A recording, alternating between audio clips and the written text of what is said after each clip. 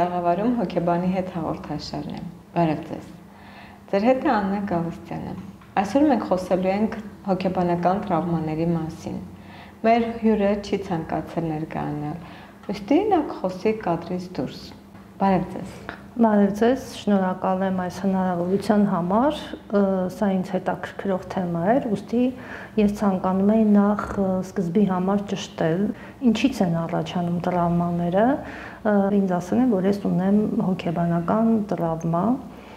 սակայն ես չունեմ դրա բացատրությունը, ինչումն է խնդիրը, ես զգում եմ, որ ինձ մոտ ինչ որ խնդիրներ կան հոգեբանական, բայց ես չեմ հասկանում, որտեղից են դրանք գալիս։ Ձեզ ավելի շուտ ինֆորմացիա է հարկավոր այդ ամեն ինչը։ Այո, սկզբի համար այո։ Հոգեբանական տրավման կամ փսիխոտրավմա, այլ կերպ ասած, մարդու այն վիճակն է, որ ինքը իրավիճակը հասկանում է, կարողանում է բացատրել, բայց կարծես թե իզորու չի լինում ինչ որ բան փոխել այդ իրավիճակում։ Տրավմայի սիմպտոմները, այսինքն նախանշաններ են, բոլոր նշանային համակարգը, որը ուղեկցվում է մարդու այս կամ այն խնդրի հետ, շատ տարբեր են, հա, շնչարկելության նոպաներ կարող են լինել, մարդը կարող է տագնապային վիճակների մեջ հայտնվել, վախեր կարող են առաջանալ, երբ որ իրար հաջորդող իրադարձություններ են տեղի ունենում, որոնք շատ նման են իրար կարծես թե նույն սցենարը լինեն, բայց տարբեր դերակատարներով, այդ դեպքում կարելի ասել, որ մենք գործ ունենք տրավմաների հետ։ Հետազոտությունները ցույց են տվել, որ ամեն տարիքային փուլում մարդը կարող է ունենալ տրավմա եւ տրավմայի արտահայտման ձևերը շատ ավելի տարբեր լինեն։ Երբ որ երեխան մոր արգանդում է լինում, եթե մայրը տրավմա է տանում, երեխան այդ ժամանակ զգում է այդ ամբողջ տրավման, իր իր վրա է վերցնում եւ արդեն հետագա կյանքում դա այս կամ այլ կերպ արտահայտվում է կարող է եւ ամենափոքր վաղ հասակում, այսինքն մինչեւ 3 տարեկան հասակում չեմ շեշտում 3 տարեկան, որովհետեւ 3 տարեկանում մարդը կարողանում է իր եսը առանձնացնել արդեն մայրիկից ու կարողանում է աշխարհը յուրովի ընկալել առանց մամայի։ Դրա համար մինչև 3 տարեկան շրջանը շատ կարևոր է երեխայի համար papayi այդքան չէ, ինչքան մամայի ներկայությունը իր կյանքում։ Ու երբ որ կտրվում է այդ կապը, երբ որ մայրիկի հետ հարաբերությունները խզված են լինում մահվան կամ մաման դեպրեսիայի մեջ է կամ շատ վատ վիճակում է, եւ այդ հոգեբանական կապը կտրվում է, երեխան էլի տրավմա է տանում։ Հատկապես 3-ից 6 շրջանի տրավմաները ամենածանրերից են, ինչի համար, որովհետեւ եթե այն բոլոր դեպքերում կա անգիտակցական ֆակտոր, որ երեխան զգում է, բայց չի գիտակցում, 3-ից 6 տարեկան շրջանում երեխան գիտակցում է ինչ է կատարվում իր հետ, բայց ինքը իզորու չի լինում դիմակայելու այդ ամեն ինչին։ Ցանկացած իրավիճակում, երբ մարդը չի կարողանում հաղթահարել այդ դժվարությունը սեփական ռեսուրսներով, դա տրավմայի է ենթարկում մարդուն։ Տրավմայի պատճառ կարող են լինել օրինակ տարային աղետները, բռնությունը, ծնողներ հատկապես ծնողների կողմից սեռական բռնությունը ամենածանր տրավմայի ձևերից է։ Երեխաների հանդեպ անարգանքը, ծաղրանքը դա էլ տրավմայի պատճառ կարող է հանդիսանալ։ Ինչպես նաև տրավմայի պատճառ կարող են հանդիսանալ իրավիճակներ, որոնք կրկնվող են ու մարդը անօգնականության զգացողություն է ունենում, երբ որ իրավիճակը մեկ շաբաթից ավել է լինում։ Տրավմա կարող է առաջանալ նաև ձերբերովի։ Ցանկալի է օրինակ բերեք ձերբերովի տրավմայից, այդ եղերնը, պատերազմները, հա, դրանք մենք ազգովի ենք տանում այդ ամեն ինչը, հա, ու տրավմայի նշաններից նաև այդ ագրեսիայի դրսևորումն է, ոչ կայուն վարքն է, հա, որ կարող եք նկատել ներ ընտանիքներում հատկապես ընտանեկան կոնֆլիկտների եւ ընտանեկան բռնությունների մակարդակը բավականին բարձր է հիմնականում տրավմատիկ մարդկանց մոտ դա բնորոշ է լինում, այսինքն եթե մարդը հոգեպես հավասարակշռված է, նախնդիրներ չունի, տրավմա չունի, մարդը ագրեսիայի դրսևորումը այդքան բարձր չի լինում, չի ուզում ուրիշին ցավացնի։ Միշտ ցավ է պատճառում այն մարդը, ով ունի արդեն իր հոգում ցավ։ Իսկ սիրո բացակայությունը ընտանիքում, որ ասենք շատ ընտանիքներ ուղակի ծնողները մեխանիկորեն ապրում են իրար հետ, կարծես թե չկա խնդիր, բայց կա սիրո բացակայություն դա ինչ ազդեցություն կարող ունենա երեխայի վրա, որը հետագայում ազդի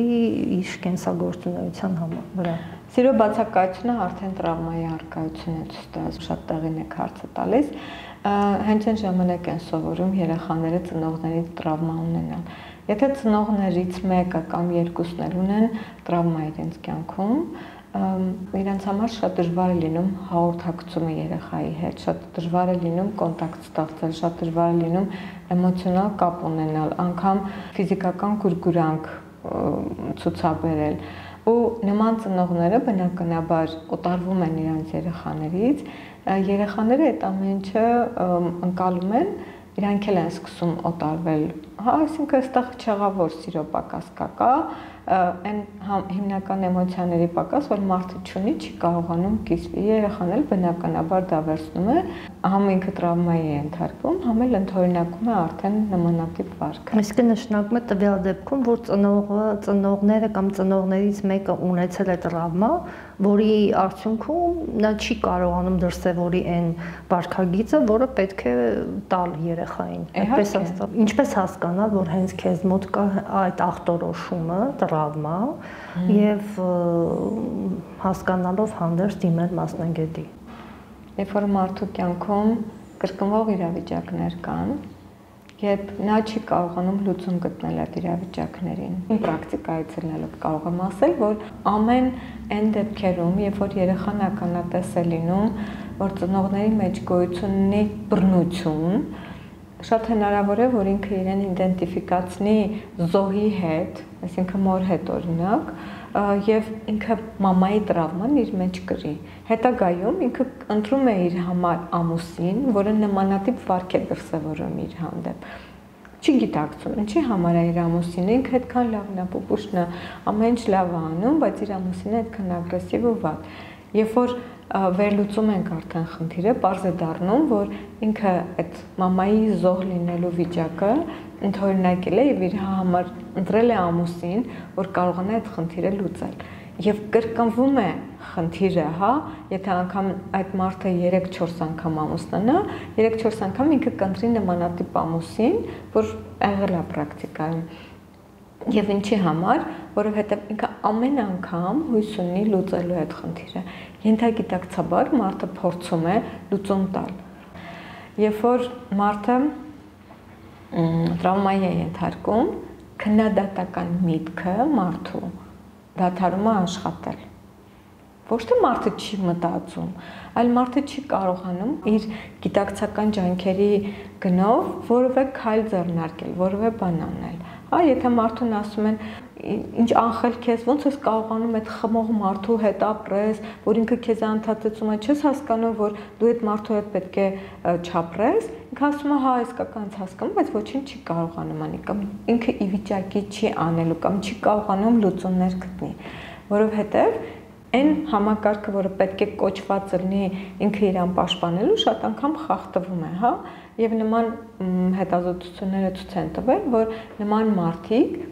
պայմանակորեն բարի ու չար մարդկանց չեն կարողանում տարբերել։ Այսինքն շատ անգամ մարդը կամ այն երևույթը անգամ, հա, այն աշխատանքը, որից վտանգ կարելի, անգամ այն բժիշկը, որից վտանգ կարելի է սпасել, իրան հետ մտերմանում են եւ ով կարա իրան օգնական լինի, իրան չեն մտերմանում, որովհետեւ իրանց այդ համակարգը ինքնապաշտպանական խախտված է։ իրան Դուք նշեցիք, որ եւ օրինակներ բերեցիք մանկությունից եկող տրավմաներին, սակայն կոնկրետ իմ օրինակով եթե ներկայացնեմ, ես չեմ հիշում մանկության տարիներին տրավմա եւ անգամ իմ ծնողները, երբ որ ինձ պատմել են, իմ մտերիմները, բարեկամները, հարազատները, ես հասկացել եմ, որ ես մանկության տարիներին եւ անգամ երևի թե փոխանցվող տրավմա չեմ ունեցել, ես ունեցել եմ տրավմա դեռահասության տարիքում Եվ ինչով են տարբերվում դեռահասության կամ մի քիչ ավելի հասուն տարիքում տրավմաները մանուկ հասակից եւ արդյոք ավելի հեշտ հեշտ է հնարավոր ձերբազատվել։ Ահա ձերբազատվելը ամեն դեպքում մարդու ինդիվիդուալ կարողությունն է դիմակայելու ստրեսին։ Եթե մարդը ինֆորմացված է, Եթե մարդը ֆիզիկապես ավելի ուժեղ է իրան զգում, եթե հոգեբանորեն ավելի ուժեղ է, դիմակայելը ավելի հեշտ է։ Իհարկե դա չի վերաբերվում այն դեպքերին, երբ որ մարդը տրավմա է ստանում ծնողներից, որովհետև այդ մարդիկ ի սկզբանե կոչված են պաշտպանելու, օգնելու, սիրելու եւ մարդը ճունի ումից պաշտպանվի կամ ոնց պաշտպանվի այն մարդուց, որը հենց իրեն պետք է պաշտպանի։ Սովորաբար նման մարդիկ ավելի ոչ թե ագրեսիան ուղում իրենց ծնողների նկատմամբ իրենց համարելով վատը, այլ հակառակ աուտոագրեսիա, այսինքն իրանք սկսում են իրենց վնասել, կամ իրանք համարում են, որ իրանք են սխալ այդ ամենը։ գիտակցաբար կամ ենթագիտակցաբար։ Ամեն դեպքում տրավմաների ժամանակ էնդորֆին է արտադրվում օրգանիզմում եւ որը ինչ որտեղ գալիս է պաշտպանելու մարդուն, որ մարդը շատ ուժեղ ցավ չզգա եւ հիշողության համակարգն է խախտվում ու Այդ ամեն ինչի արդյունքում մարդը մոռանում է տրավմայի բուն պատճառը։ Երբեմն լինում է մարդուն թվում է թե առաջին տրավման ունեցել է դեռահասության շրջանում, բայց երբ որ աշխատանք են կանում, շատ անգամ դեռահասության շրջանից հետո վայ ես մոռացել եմ, այս նման բան չեմ հիշում, հա։ Նո դա հիմնականում ուղեկցող աշխատանք է, որովհետև մարդը չի հիշում դեպքերը, շատ անգամ մարդը չի հիշում իրավիճակները, չի հիշում ով է այդ ամեն ինչը արել, բայց մնում է էմոցիան։ Հատկապես մնում է մարմնի մեջ ինչ որ զգացողություններ։ Մարմինը լեզու ունի եւ մարմնի մեջ արտահայտվում են բոլոր խնդիրները։ Բնաստային ուղեղը ինքը օժտված է մեզ պաշտպանելու ու այդ պաշտպանական համակարգը մեր մարմինը վերցնում է իր վրա, որտեղ որպեսի ուղեղը անդադ աշխատանք չանի, մար մարմինը այդ ամբողջ համակարգը վերցնում է իր վրա եւ դա նման է մի պահակի, որը պետք է թողնի ներս ծանոթներին եւ դուրս հravirի օտարներին, բայց այդ պահակը հանկարծակի որոշում է, որ պետք է ընդհանրապես բոլորից պաշտպանի եւ ներս է թողում բոլորին, չի թողնում ոչ մեկին դուրս կամ ոչ մեկին ներս չի թողնում, հա, չափազանց մեծ պաշտպանություն է ստեղծում նույն կերպ մեր օրգան համակարգն է ստեղծում այդ պաշտպանությունը, երբ որ պաշտպանում է ամեն ինչով եւ ամեն մի ազդակը, որը հիշեցնում է հանկարծակային երևույթային դեպքը, այն խնդիրը, որ մարդու հետ կատարվել է, ամբողջովին ամբողջ օրգան համակարգը մոբիլիզանում է եւ մարդը արդեն էլի անկարող է լինում, էլի ընդունակ ելնում որևէ քայլ անելու, սկսում է պանիկաները, սկսում են խնդիրները, վախերը, անհանգստությունները, շնչառքելությունը, պսիխոսոմատիկ ընդունված է անգամ համարել, որ տարբեր գիտնականներ տարբեր կարծիք են 80-100%-ը պսիխոսոմատիկ հիվանդությունների, հոգեմարմնական հիվանդությունների, տրավմաների արդյունք են։ Աննա, այսինքն կարելի է ասել, որ եթե մարդու կյանքում կրկնվում են ինչ որ երևույթներ եւ դրսեւորվում են ինչ որ ֆիզիոլոգիական երևույթներ, դրանք նախանշաններ են, որ մենք ունենք տրավմաներ կամ տրավմա, որոնցից պետք է ազատվել։ Ես ճիշտ եմ հասկացել։ Այո, Եթե մարդու կյանքում կրկնվող իրավիճակներ կա, եւ մարդը եզորու չի այդ իրավիճակները հաղթահարել, միայնակ, չնայած ինքը ջանքեր է գործադրում, ամեն ինչ անում է, փորձում է, դա խոսում է արդեն տրավմայի մասին։ Եթե մարդը ոնց որ իր կյանքը ապրի առանց ապրելու, ոնց որ կողքից նայի թե ինչ է կատարվում, ինքը մասնակից չի։ Եթե մշտապես ինչ որ կոնֆլիկտների մեջ է, եթե մարդուն մշտապես ցավ են պատճառում ուրիշ մարդիկ եւ ինքը չի էլ հասկանում թե ինչի համար այդ ամեն ինչը տեղի ունենում։ Հիմնականում դա իրավիճակներն ենթագիտակցական մակարդակում արդեն հրավիրում է իր կյանք նմանատիպ իրավիճակներ, որտեղ արկա է արդեն տրավմա եւ կարծես թե նման կերպ մարդը փորձում է տրավման լուծել։ Միշտ չի որ արտահայտվում է նևրոզների ձևով, միշտ չի որ արտահայտվում է պսիխոսոմատիկ հիվանդությունների ձևով, միշտ չի որ արտահայտվում է պանիկատականների ձևով, ֆոբիաների ձևով, միշտ չի։ Տրավման նաև կարող է արտահայտվել սովորական մեր կյանքում ինչ որ բանի անկարողության մեջ, որ մարդը չի կարողանում անել այս բանը, ինքը անօքնական ու անկարող է լինում, չի կարողանում անձնական հարաբերություններ ստեղծել, ֆինանսական խնդիրներ լուծել, չի կարողանում ծնողների հետ փոխհարաբերություններ կարգավորել, չի կարողանում իր երեխաների հետ փոխհարաբերություններ կարգավորել, հա, ու ինքը այդ ամենը անելով ոչ թե քայլերը, այլ ինքը իրան անօքնական, անուշ, անվստահ է զգում այդ ամեն ինչում։ Շատ բարի, շատ շնորհակալ եմ, սակայն կարծում եմ, որ հերոստադիտողին եւս կհետաքրքրի, թե ինչ վարժություններ կամ ինչ կարելի է անել տրավմաների դեպքում։ Տրավմայի բուժումը իրականում ինքնուրույն դժվար է լինում, որովհետև մարդու համար շատ դժվար է գնալ այնտեղ, որտեղ ցավ կա, եւ դրա համար մարդիկ չնայած նրան, որ փորձում են յոգայի միջոցով, ցիգուն, կետաբուժության եւ նման, հա, կամ դեղերի միջոցով փորձում են այդ խնդիրը լուծել, բայց իրանք ընդհանրապես կարողանում են հետևանքը լուծել, որովհետև խնդիրը լուծել այդ նշանակում է փակել են գործարանը, որը խոտան է արտադրում, ոչ թե խոտան արտադրանքը վերացնել, հա, շուկայից։ Եթե մարդը միտքը չի փոխում, մարդը չի կարողանում ազատվել հենց այն ցավ պատճառող խնդիրներից, իր համար շատ դժվար է այդ ամեն ինչը։ Սիմպտոմները կվերացնի, կհանգստանա միաժամանակ, հետո էլի հետ կգա մարդու խնդիրը։ Հոգեբանը տալիս է գործիքներ, որ մարդը գնա եւ բուժի այնտեղի խնդիրը, այն փոքրիկ երեխային վախեցած օգնի, որ ոդքի կանգնի, հա, բայց դա արդեն նոր ուժերով մարդն է, նոր իր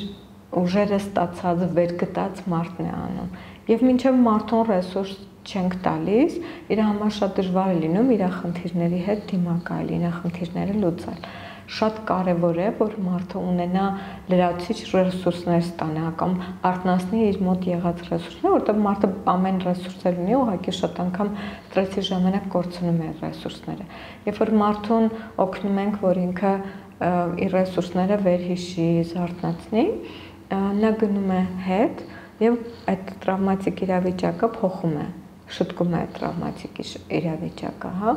եւ հետո կարողանում է ստեղծել նոր իրավիճակ, որտեղ ինքը արդեն իրեն կոմֆորտի մեջ կլինի։ Հիմնական